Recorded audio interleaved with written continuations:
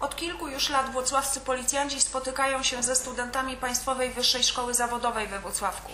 Wszystko to w ramach praktyk studenckich. Studenci kierunków pedagogicznych, jako przyszli pedagodzy, mają wówczas możliwość zapoznania się z zasadami współpracy szkół z policją na różnych płaszczyznach działania. Informacje te dotyczą przede wszystkim procedur postępowania nauczycieli i metod współpracy szkół z policją w sytuacjach zagrożenia dzieci i młodzieży przestępczością i demoralizacją.